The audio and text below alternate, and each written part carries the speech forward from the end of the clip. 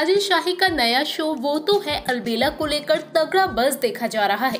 इस शो में lead role में शाहिर शेख, हिबा नवाब नज़र आने वाले हैं।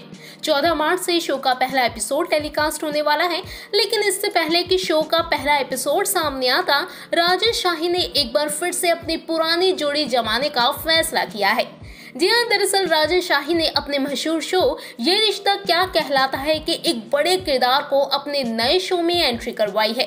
दरअसल राजन शाही ने ये रिश्ता क्या कहलाता है शो में मनीष गोइंका का किरदार निभाने वाले एक्टर सचिन त्यागी की एंट्री वो तो है अलबेला में करवाई है।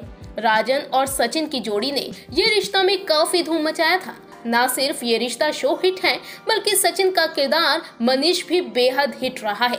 सचिन का किरदार भी लोगों ने खूब पसंद किया और काफ़ी पॉपुलर भी हुआ। इसीलिए अब राजन ने सचिन के साथ अपनी जोड़ी को एक बार फिर से अपने नए शो में जमाने का फैसला किया है। आपको बता दें कि तीसरी बार है जब राजन और सचिन किसी शो में दोबारा साथ नज़र आने वाले हैं। सचिन, राजन के शो तेरे शहर में ये रिश्ता क्या कहलाता है? और अब वो तो है अलबेला में नज़र आने वाले हैं।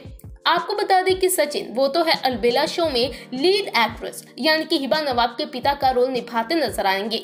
वह अब तक सचिन ने अपने हर किरदार, हर शो से खूब नाम और शोहरत कमाई है।